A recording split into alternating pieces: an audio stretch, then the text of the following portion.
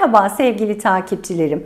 Üroloji hekimine en çok sorulan sorulardan bir tanesi prezervatif nasıl takılmalı?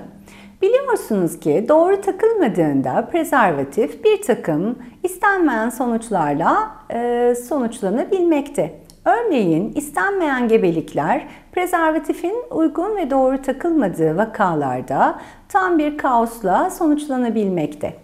Özellikle e, prezervatifin doğru takılması cinsel yolla bulaşan hastalıklara karşı da hem erkeği hem de kadını en doğru şekilde koruyan bir bariyer e, görevi yürütüyor. Prezervatifin takılması için özel bir eğitim gerekmiyor. Ancak e, kişi bu konuda öğrenmek istediği e, noktalar varsa üroloji hekimine danışarak penise cinsel faaliyet öncesinde e, prezervatifin nasıl takılması gerektiğini elbette öğrenebilir.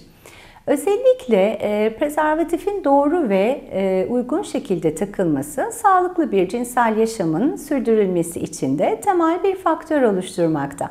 Beni dinlediğiniz için teşekkür ederim.